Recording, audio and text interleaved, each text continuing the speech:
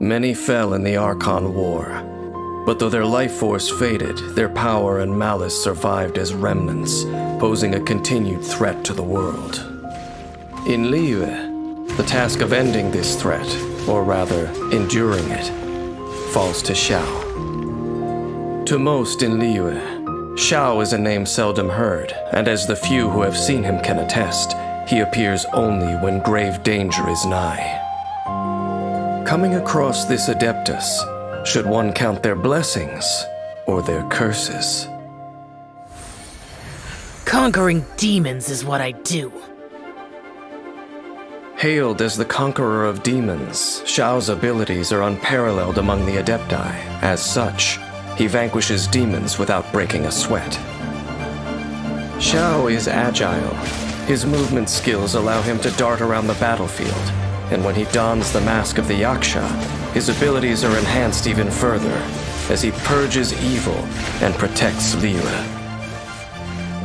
After years of honing his abilities, Xiao has developed an Adeptus art that affords him strength at high altitudes. When Xiao is in the party, the active character consumes less stamina while climbing. Xiao's normal attack can combo up to six strikes, dealing physical damage to enemies. Holding the attack button causes Xiao to consume stamina and perform an upward thrust, dealing physical damage and lifting enemies into the air. While airborne, press attack to perform a plunging attack, striking enemies on the way down and dealing AoE damage upon landing. Xiao will not lose HP from a plunging attack, no matter how high he starts. Use Xiao's elemental skill to lunge forward, dealing anemo damage to enemies in his path. Make adept use of this skill to dart effortlessly around the battlefield, dealing damage while tactically adjusting your position.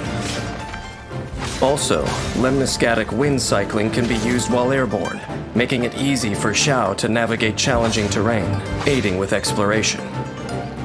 Lemniscatic wind cycling starts with two charges available.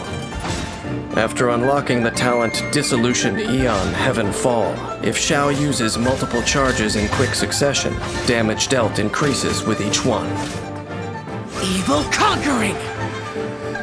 When Xiao unleashes an elemental burst, he dons the Yaksha's mask that once struck fear into gods and demons alike. His attacks now deal anemo damage, which cannot be overridden by another elemental infusion. And Xiao's attack AoE and damage are both increased. In addition, Xiao's jumping ability is greatly enhanced, allowing him to assail the enemy with plunging attacks. The Yaksha's mask brings enormous power, but also great suffering. During Xiao's elemental burst, he will continually lose HP. This effect stops if he leaves the field. After unlocking the talent Conqueror of Evil, Tamer of Demons, while Bane of All Evil is active, Xiao's damage gradually increases. When Xiao goes into battle, danger follows in his wake. To avoid harming others, he acts quickly, completing the task at hand as efficiently as possible. As the fight begins, Xiao uses his elemental skill to move rapidly around the battlefield, changing strategic positions, dealing damage as he goes, and building up energy. When his energy is full, he unleashes his elemental burst and harnesses the power of the Yaksha's mask to incapacitate the enemy with plunging attacks and finish off every last one.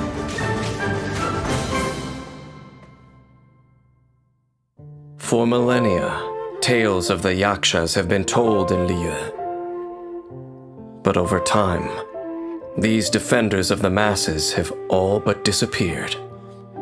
Only Xiao still honors his contract with the Geo Archon by performing the duties assigned to him, though the cost of this duty is perpetual solitude.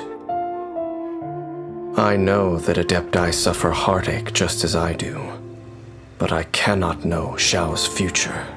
Will Xiao be ravaged by the unending war he wages and be plunged into despair?